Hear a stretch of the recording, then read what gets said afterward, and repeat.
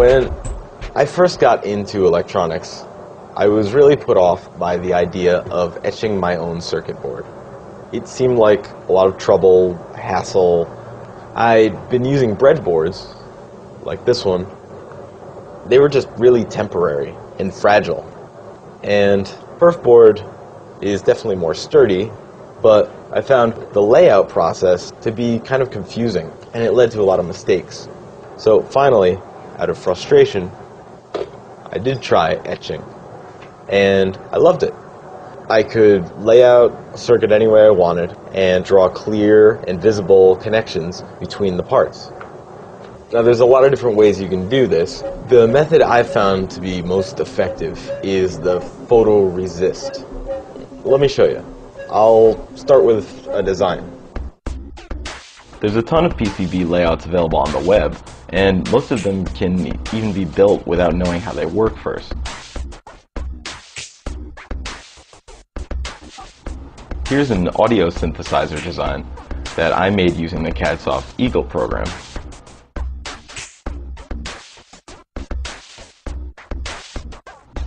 The first step in turning it into a real board is printing it out.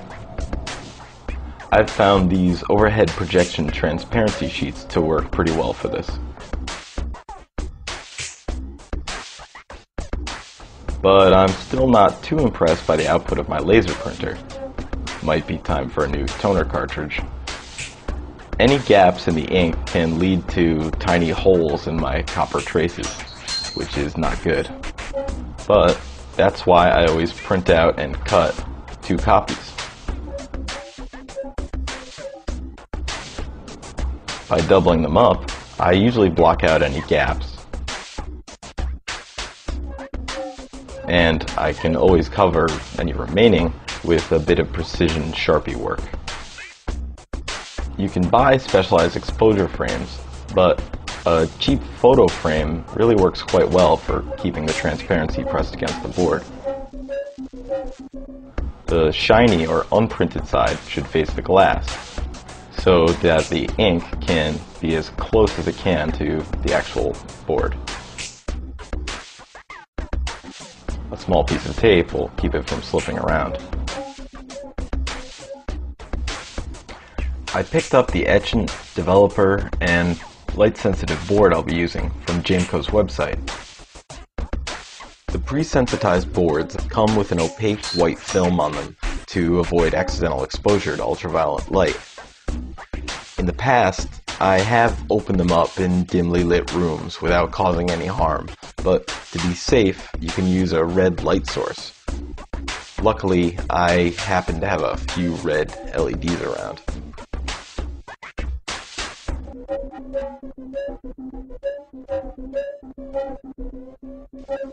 Peel off the protective film, making sure you don't get any dust or scratches on the board surface. Place the sensitized side against the transparency, keeping it centered, and replace the frame's backing. You don't need any special UV bulb for properly exposing the board. A common 13 watt CFL bulb works quite well at about 6 to 8 inches away. I'll expose the board for 8 minutes, which gives me plenty of time to make sure my developer's ready.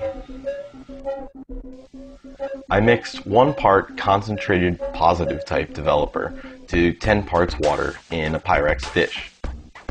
These dishes are nice because I can even heat them if I need to, and they come with a lid so I don't have to remove the developer in order to store it. Once my 8 minutes are up, it is development time. When working with developer or etchant, I wear these nitrile gloves I picked up at the local pharmacy. They're very purple. Fully developing the board usually takes around a minute or so.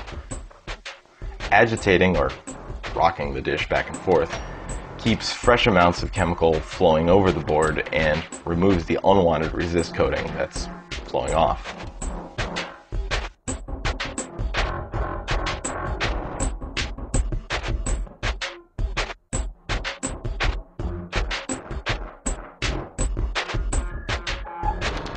Once all of the exposed areas are all bright and shiny, totally free of resist, we can pull the board out and give it a quick rinse in cold water.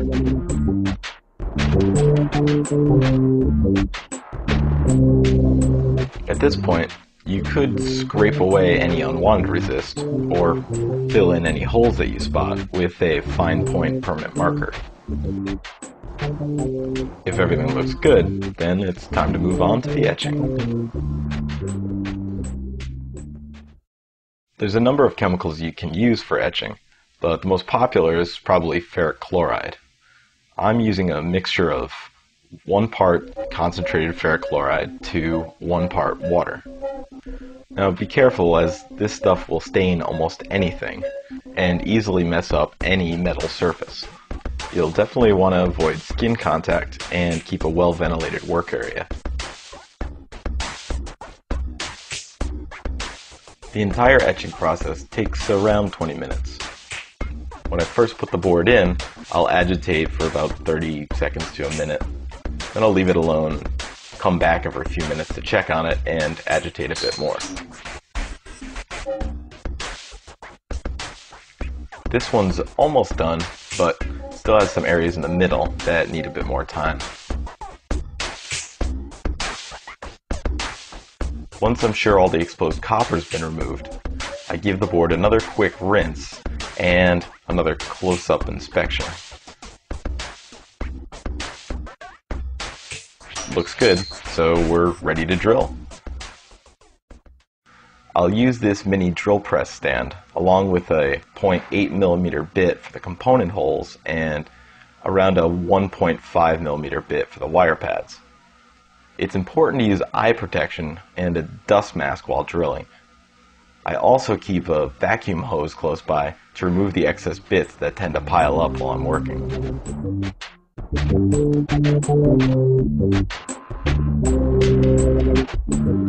When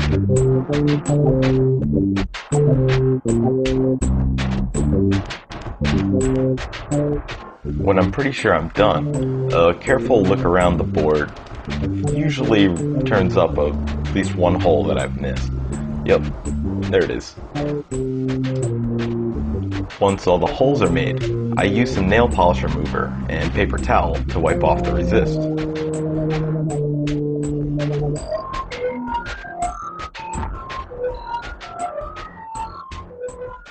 Once the board is totally clear of resist, well, that's it. It's done. And it does look pretty.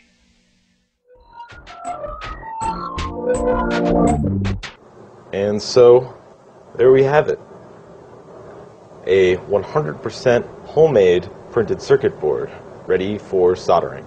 It doesn't have the solder mask or through-hole plating that uh, a board from a professional manufacturer would have, but it's got heart, something that those boards don't. I mean, I'm proud because I made it. It feels good. And I also made it for a lot less money and in a lot less time than if I had sent away to a manufacturer. So if you're considering trying etching your own circuit board, I do recommend it. It's really satisfying. It's worth it. Materials used in this video are available as bundles from jameco.com.